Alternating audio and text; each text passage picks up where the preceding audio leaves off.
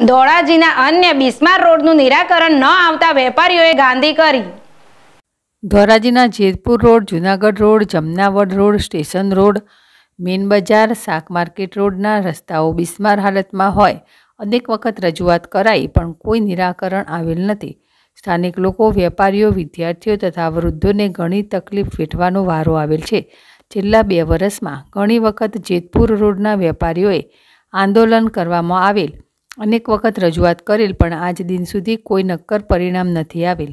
હાલ થોડા દિવસો બાદ જન્માષ્ટમીનો ધાર્મિક તહેવાર આવવાનો હોય અને શાક માર્કેટથી જેતપુર રોડ તથા વિવિધ વિસ્તારોમાં શોભાયાત્રા નીકળવાની હોય.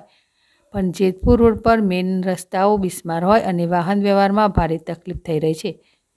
ત્યારે આજ રોજ જેતપુર રોડ પરના વેપારીઓએ ન છૂટકે ગાંધીગીરી કરવાની ફરજ પડી અને જેતપુર રોડ પરના બિસ્માર હાલતમાં નીકળતા વાહન ચાલકોને રાહદારીઓને, વિદ્યાર્થીઓને ગુલાબનું ફૂલ આપીને જેતપુર રોડ પરના વેપારીઓ લોકોનું સન્માન કરેલ જેતપુર રોડ પર બિસ્માર હાલતમાં લોકો મૂંગે મોઢે સહન કરી રહ્યા છે. તે બદલ જેતપુર રોડ પરના વેપારીઓ જેતપુર રોડ પર નીકળતા લોકોનું ફુલારથી સન્માન કરેલ અને આભાર પણ વ્યક્ત કરેલ આમ જેતપુર રોડ પરના વેપારીઓએ રોડ રસ્તાઓ બિસ્માર હાલત હોય તે માટે ગાંધીગીરી કરવામાં આવી હતી અને આગામી દિવસો જો તાત્કાલિક રોડ રસ્તાઓનું સમારકામ નહીં થાય તો જલદ આંદોલન કરવામાં આવશે અને ચક્કાજામ કાર્યક્રમની ચીમકી આપી હતી. કલ્પેશ પાસા જેડેશ ટીવી, ધોરાજી. મારું નામ જીતુભાઈ કોટિયા અને જેતપુર રોડ ઉપર અત્યારે કિશોર ઓટો સેન્ટર નામની પેઢી ધરાવું છું. અને આજે અમે વેપારી બધા સાથે મળી અને જેતપુર રોડ તદ્દન ખરાબ છે, મોટા મોટા ખાડા છે.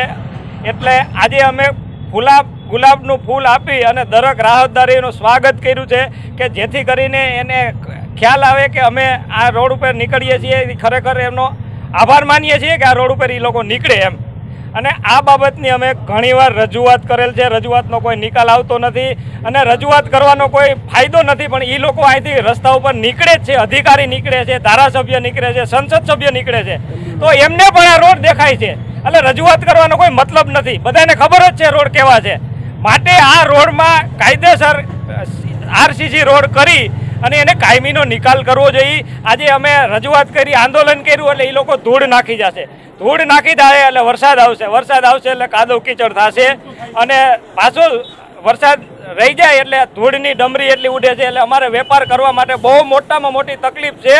માટે અમે આ લોકોને કહીએ છીએ કે આ રોડનો તાત્કાલિક નિકાલ કરો. નકર ટૂંક સમયમાં અમે જલદ આંદોલન કરી અને રસ્તા રોકો આંદોલન કરશું. જેની જવાબદારી તંત્રશ્રીની રહેશે. એટલી મારી રજૂઆત છે.